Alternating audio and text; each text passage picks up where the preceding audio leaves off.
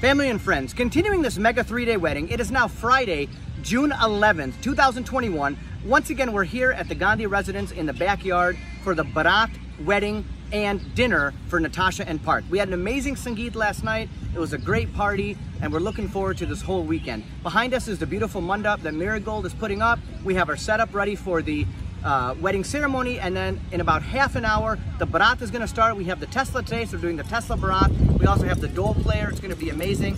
Let me give you a quick tour of the wedding ceremony area. Here's a beautiful mandap. We're outside. You can see the water behind us. There's canada. Beautiful breeze here.